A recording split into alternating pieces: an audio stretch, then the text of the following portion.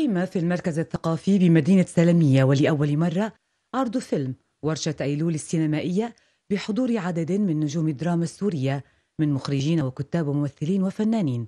كما أقيم حفل تكريمي لعدد من الفنانين وتقديم الدروع السينمائية التذكارية لهم. أنا جيت لهون أحضر هال هال هالفيلم السينمائي شهر أيلول لأتعرف على الثقافة الفنية لمدينة السلمية وهذا طبعا شرف لي كبير.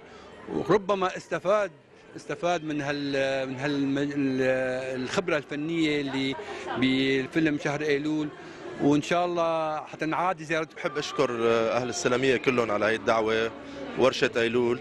وجد أنا أي نشاط من هذا النوع ثقافي سينمائي بفيد البلد آه، بفيد هي الشباب اللي عندها طموح لتقدم شيء تقدم أفكارها.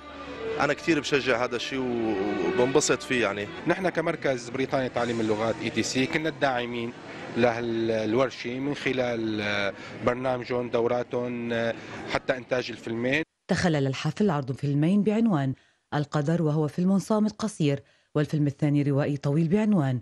بما تشعر؟ ورشة أيلول السينمائية هي ورشة سينمائية انعملت بمدينة صغيرة هي مدينة سلمية كان فيها صفين تمثيل وإخراج. أنا كنت عريف قسم الإخراج بورشة أيلول السينمائية. أنا موجود هلأ هون بسلمية لحتى نشوف. يعني أنا بعرف أنه في إمكانيات بأبسط ما يمكن في مشروع سينمائي. أنا بالنسبة لي هو مشروع حياة مشروع السينما.